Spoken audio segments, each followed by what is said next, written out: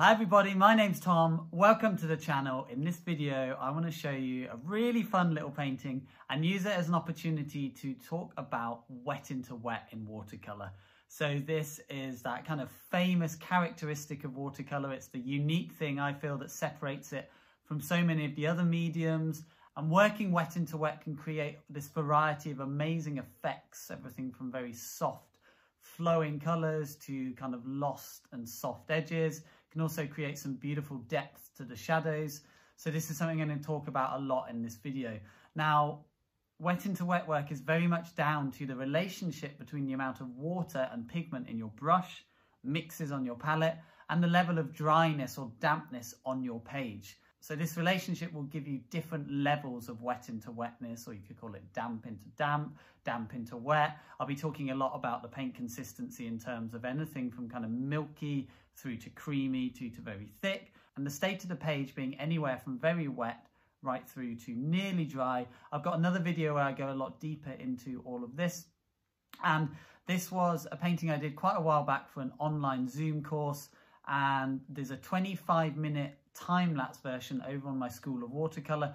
Obviously loads of other videos over there. I talk about these wet into wet principles and tons of other techniques. If it's something you might be interested in, please do check it out. I also have some Zoom demos coming up and another course which is painting the figure in watercolour. These are all happening kind of November, December 2023 if you're watching this before that time. All of the links in the description. Let's dive into it. So I'm going to start off with very, very watery yellow and I quite often find that I map out my paintings with yellow leaving lots of whites of the page, very, very watery. I may bring up the consistency to be kind of a little bit more pigment, but still very, very free flowing.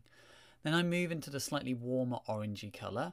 It's kind of like full fat milk paint consistency, so a little bit more pigment, but still very free flowing. Most of these lighter tones are somewhere between kind of watery tea to kind of full fat milk, if you want to give it that description. So a good amount of pigment, but also loads of water. It's got that free flowing nature. When we're doing this, the colours are very much washing and flowing together. Now as the page begins to dry, plus I bring up the paint consistency to be a little bit creamier, you'll notice that the colours are richer and stronger. The tone is a little bit darker, and whilst the colours are still flowing together because there's dampness on the page and a little bit of water in the mix, they're not flowing together as much. They're not washing together and merging as much. So that's what I would call like the light family drifting into some shadowy tones. I'm now going to take the exact same principle of working wet into wet, but we're going to bring the paint consistency up to be a little bit creamier yet again, what we might call single cream in the UK, kind of half and half cream uh, in other places. And this is going to give us a darker tone, which we're drifting into the shadows, but there's still plenty of moisture in the brush and in the mix so that the colours still soften and flow together. And I tend to think of this a little bit more kind of damp into damp. There's still plenty of moisture in the mixture. I may be working into a wet part of a painting because I've just laid down the shadow, but the pigment is a little bit stronger and there's less water. It's less free flowing. So you have to work a little bit harder to get the colours flowing. But once I've laid in that kind of gentle shadow using the creamier tone, you'll see that I'm coming back in with very, very thick creamy pigment. There's still moisture in the brush, but if I was to turn my palette on the side, that paint is not going to flow on the palette. It's kind of stickier, creamier, what we might call double cream, drifting into kind of whipping cream. And you'll notice a recurring pattern to the way that I tackle any area. Start very watery for the lights, coming up to kind of milky consistency. Knock in the the lighter or more gentle shadow, sort of light cream mixture. We're, we're talking consistency here, not colour.